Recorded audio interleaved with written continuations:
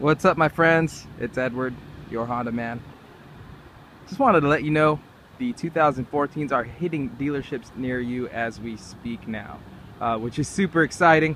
I just wanted to show you this. Uh, I will be doing a test drive of it, I promise. Uh, my last video was uh, a little brief, just driving it inside the lot, so if you want to check that out, you can. It was my last video uh, before this one.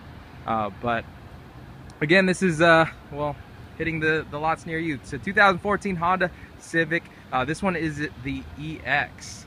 Check it out. This one's in the modern steel metallic. Uh, no longer the polished metal. Uh, just some of the things that did change uh, would be you do have an expanded view rear view mirror on the sedan. So uh, actually going back to it, you do have that line so it's more of a convexed uh, mirror, so it lets you look into the next lanes. You have your lane departure, well, you're actually your lane watch, sorry, not your lane departure. So there's your lane watch system right there. Uh, the interior is all refreshed again for 2014. You have your uh, uh, more uh, of a kind of durable fabric now. Check that out. Even the armrest changed a bit. And there's your touch screen.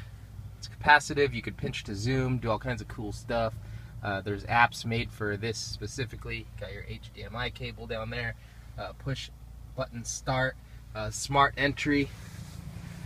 Really cool. So again, this is the sedan in the modern steel metallic.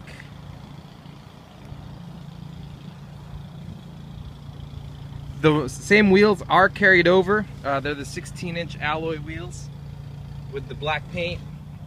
So the sedan, the main changes were on the rear view mirrors on the outside and then uh, the interior refresh as well as what you can't see in the picture or the video, you do have a CVT engine on this car now. So it gives you 33 miles per gallon combined, 39 on the highway, 30 in the city. So the city increased by two over last year's model. Uh, but I hope this video helps you. Again, I will be doing a point of view test drive very soon on this car.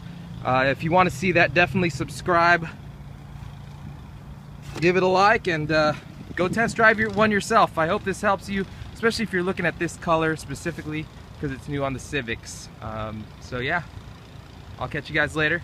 It's Edward, your Honda man. Bye for now.